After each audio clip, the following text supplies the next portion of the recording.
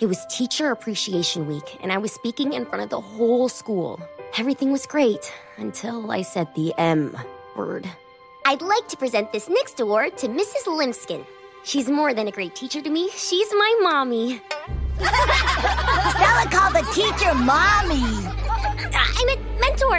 And Miss Limskin is my mentor, not my mommy. My mommy is my mommy. I mean, my mother.